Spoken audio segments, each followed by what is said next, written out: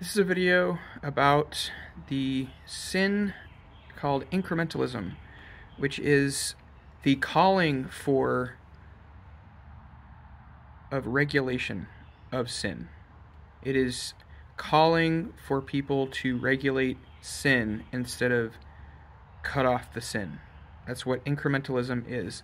It is a strategy by which people believe that calling for uh, certain reforms that they believe are reforms, certain um, cutbacks on a sin in, in order to gain over time traction to eventually get rid of a sin. For example, when it comes to abortion, this looks like calling for a 20 week abortion ban instead of always only calling for complete and immediate abolition of all abortion, equal protection for all humans.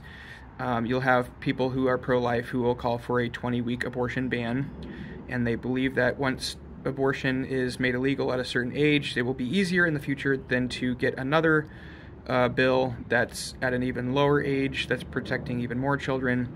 And so they believe that over time they will eventually end abortion this way. But um, this is uh, in principle sinful because God never tells us to call people to do less than obedience. God never calls us to call others to anything less than full obedience. Uh, obedience is always to be complete. It's and incomplete obedience is actually disobedience. Uh, we're to love the, our God with all of our heart, mind, soul, and strength, everything we have at all times. And anytime you don't do that, anytime it's less than full, then you're actually sinning against God.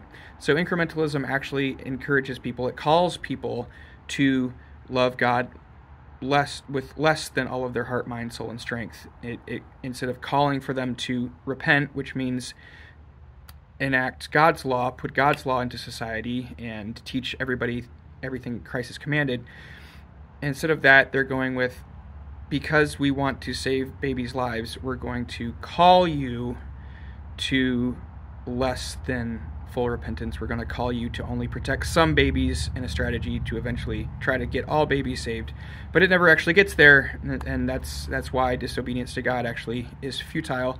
It doesn't get you anywhere. Even though people think that denying the Great Commission and not teaching legislators everything that Christ has commanded, even though they think that will save more babies, in the end, in the long run, it only prolongs the Holocaust because people keep regulating murder. Bills regulating abortion continue to be passed, and abortion continues to murder children. People continue to murder children through abortion. Um, incrementalism is fundamentally against the Great Commission. Jesus told his disciples to make disciples of all nations, teaching them everything that Christ has commanded. Everything that he's commanded, he told them to teach people. Well, when he said that, the, the disciples understood um, that God's law requires the death penalty for murderers, and that Jesus is wanting them to go teach God's law to everybody. That's God's commandments. At the time when Jesus said that, these are Jewish people understanding that God's law is what needs to be taught to all nations. So in Genesis 9 6, God says, If any man sheds man's blood, by man shall his blood be shed, because man is created in the image of God. So, therefore, we must put into law in our societies, in order to be just, uh, the death penalty for murderers. Uh, no matter what the age of the person who's murdered, the person who murdered that person, the persons who murdered that person um, must receive the death penalty after being convicted in court through, through the evidence and testimony of two or three witnesses this is not being uh, carried out through the pro-life movement. The many people in the pro-life movement um, are against the death penalty for, for women who murder their children, and uh, they are seeking to uh, put into law.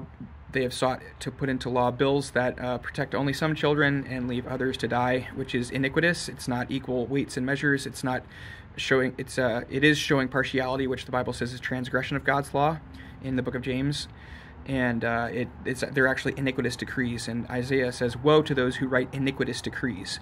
Woe to those who write sinful laws!" And so we can't write sinful laws. We can't write laws that tell people basically when, where, and how they can murder their children in an effort to try to save some lives. Um, the fact that you might save a life through that does not justify sinning against God. Nothing ever justifies sinning against God. We're always to love God more than anything else, and people in the pro life movement end up idolizing baby saving by doing what they think will save more babies in a manner that's sinful, and they adopt a sinful strategy because they don't love God more than, than they love saving babies. They love saving babies more than they love obeying God. And in the end, they end up killing more babies because instead of abolishing abortion like we should have decades ago, regulating abortion has resulted in millions and millions and millions of children being murdered. So the pro life movement has actually murdered millions of children because of its incrementalism, because of its rejection of the Great Commission. And um, incrementalism also teaches the public that abortion is not really murder. So it's a it's a massive education uh, campaign. Basically, even though they might not might not call it that, it it educates tons of people to make them think, well, this isn't really murder we're dealing with here because you can regulate it. I mean, if it's really murder, then how could you pass a bill that allows some people to be murdered? It's just it's, abortion just becomes this bad thing that we have to regulate and cut down on, but it's not actually the murder of people, and it's not treated like the murder of any other human beings. So it, it, the cultural norms of what people think about abortion are influenced. They have been influenced by decades of incrementalism, decades of um, regulating sin, calling for the um, regulation of sin instead of the cutting off of sin. And um, this is not a denial that change happens incrementally over time because humans are sinful and we're not perfect.